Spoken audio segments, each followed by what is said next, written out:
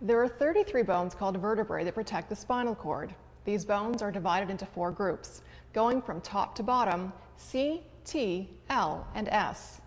C stands for cervical or neck.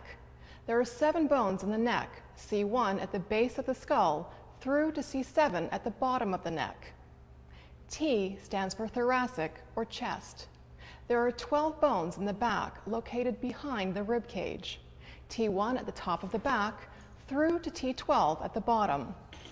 L stands for lumbar, located in the lower back.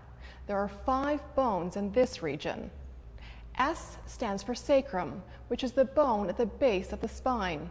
Technically, this contains five vertebrae, but they are fused into a single bone. Finally, there are four more bones fused together to make the coccyx, or tailbone.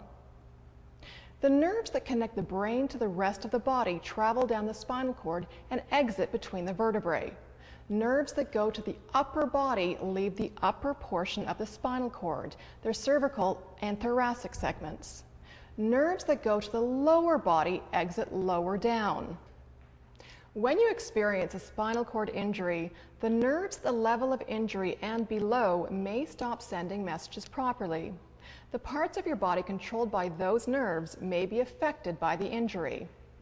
An injury to the neck area, for example, at the C6 level, can result in impairment to the arms, hands, trunk, and legs, and can affect a person's breathing muscles.